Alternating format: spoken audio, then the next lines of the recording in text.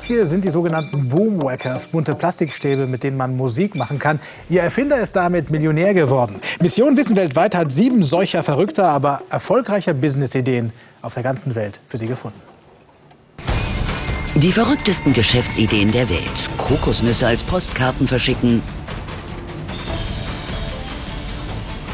Ein Coffee to go auf Rädern. Und mit bunten Plastikstäbchen Musik machen. Seht ihr, wie einfach das ist? Für Platz 7 der verrücktesten Geschäftsideen weltweit reist Mission Wissen nach Tokio.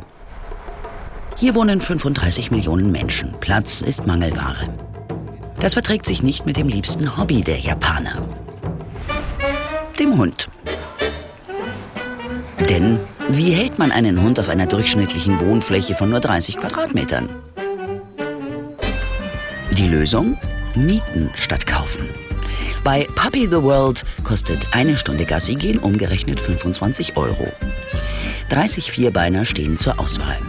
Die Firmengründerin Hachiko Saito versteht sich als Tierschützerin. Ich hatte die Idee, weil ich gesehen habe, wie viele Hundebesitzer ihre Tiere nach ein paar Monaten wieder abgeben. Ich dachte, wie toll wäre es, wenn man das zuerst mal üben könnte, bevor man sich einen eigenen Hund zulegt. Und so funktioniert's. Die Hunde, die an der Tafel hängen, dürfen gemietet werden. Jeder geht nur einmal am Tag raus, für maximal zwei Stunden.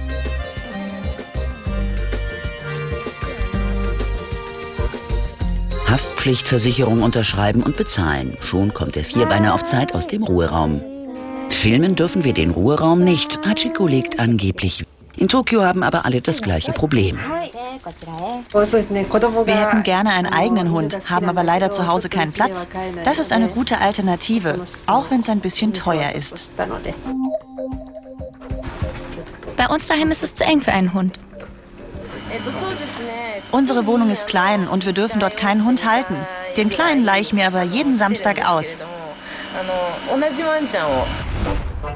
Japaner gelten als sehr hygienisch und deshalb gibt es auch auf der Straße strenge Regeln.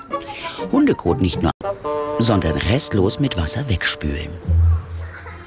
Im Park geht die ganze Stadt Gassi. Deshalb gibt es hier sogar ein Hunderestaurant. Auf der Karte für die Vierbeiner stehen Nudeln, Gemüse und natürlich Würstchen. Drei Gänge gibt's für umgerechnet 10 Euro. Hachiko verdient mit ihrer skurrilen Geschäftsidee 1000 Euro pro Tag, aber Futter, Pflege und Miete lassen ihren Gewinn deutlich schrumpfen. Ich mache das nicht, um Geld zu verdienen, sondern für die Hunde.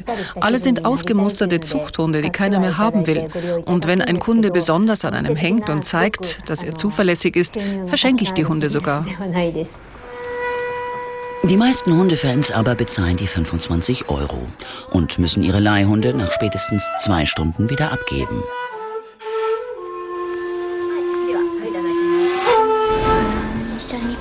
Will ihn mitnehmen, mit nach Hause. Der Hundeverleih in Tokio, Platz 7 der verrücktesten Geschäftsideen. Für Platz 6 der verrücktesten Geschäftsideen geht es zu unseren holländischen Nachbarn nach Hazerswoude Dorp in der Nähe von Den Haag. Designerin Wendy Schlagwein liebt alles, was mit Kuchen zu tun hat. Deshalb hat sie einen ganz besonderen Tortenladen aufgemacht. Torten sind wirklich meine Leidenschaft. Ich liebe es, sie zu backen und zu verzieren. Dabei fiel mir auf, dass die Figuren obendrauf oft aus Plastik sind und man sie nicht essen konnte. Also habe ich angefangen, Feen- und Elfentorten selbst zu modellieren und alle liebten es. Das Besondere an Wendys Feentorten, an ihnen ist garantiert alles essbar, inklusive Verzierung. Pro Monat entwirft die 39-Jährige bis zu 25 neue Kreationen. Eigentlich bin ich gelernte Modedesignerin. Ich mache Kleider wie dieses hier. Während ich die Kleider entwerfe, bekomme ich meine Inspiration für die Kuchen. Wendy hatte die Idee, den Kuchenteig als Rockform für ihre Feentorten zu verwenden. Die märchenhaften Kuchen waren dann so begehrt, dass Wendy mit dem Backen gar nicht mehr nachkam. So kam ihr die Idee, einfach anderen beizubringen, wie es geht.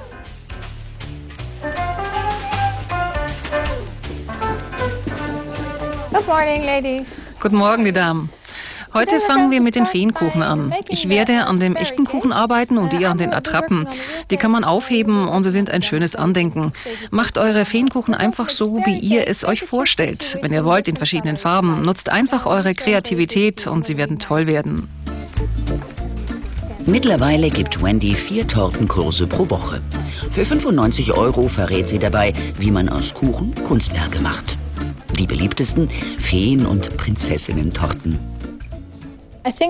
Ich glaube, das Geheimnis meines Erfolges ist einfach die Art, wie wir die Torten gestalten. Es geht um die kleinen Sachen, die winzigen Details, ohne Plastik im Kuchen. Mittlerweile kommen ihre Kursbesucher sogar aus England, Frankreich und den USA angereist, um an Wendys berühmten Tortenkursen teilzunehmen. Ich bin selbst Konditorin. Ich weiß, dass meine Kuchen gut schmecken, aber meine Verzierungen sind nicht die besten. Das lerne ich von Wendy. Oh, Mama, du bist toll. Das gefällt mir. Ich habe schon knapp ein Dutzend Kurse bei Wendy gemacht, aber immer wieder lerne ich neue Sachen. Diese Dekos faszinieren mich einfach. Und es macht total Spaß.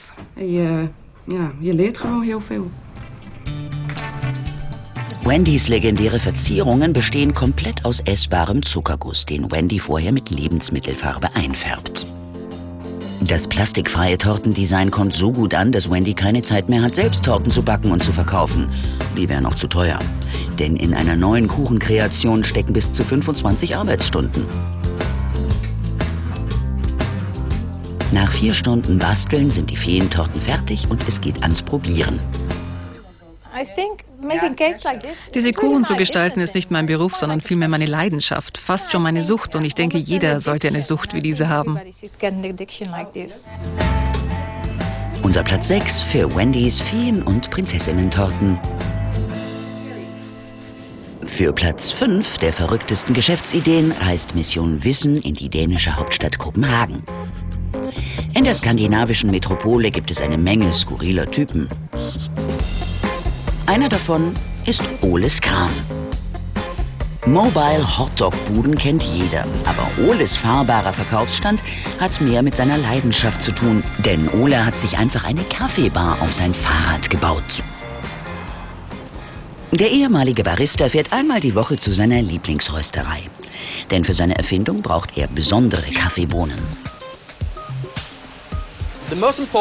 Das Wichtigste ist, dass die Bohnen frisch geröstet sind. Denn frischer Kaffee hält sich nur ein bis zwei Wochen.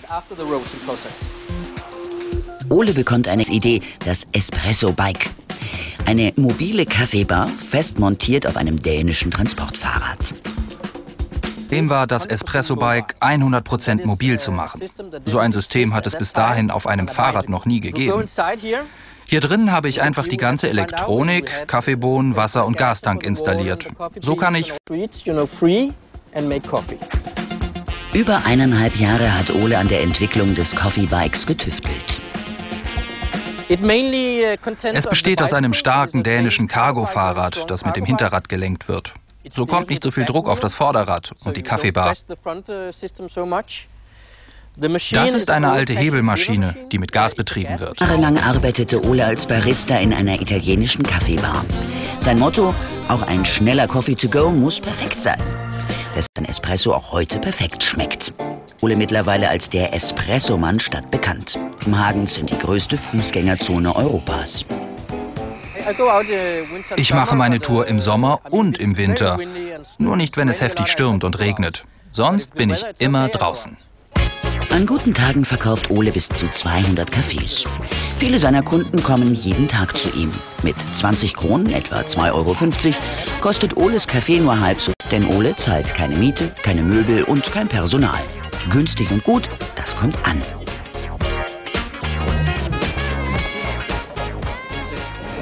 Fantastisch, wenn du schnell einen Kaffee brauchst. Es liegt auf dem Weg. Es ist viel persönlicher als im Café. Eine tolle Idee und ein sehr guter Kaffee.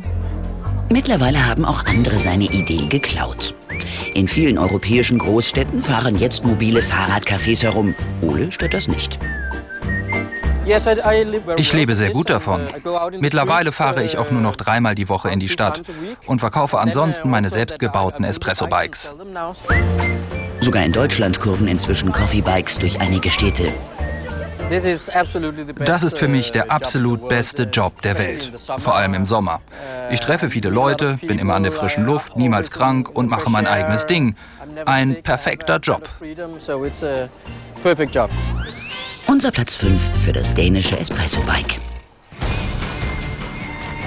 Gleich noch mehr verrückte Geschäftsideen, Postkarten aus Kokosnüssen, der auch schwimmen kann und Papier aus Elchkacke.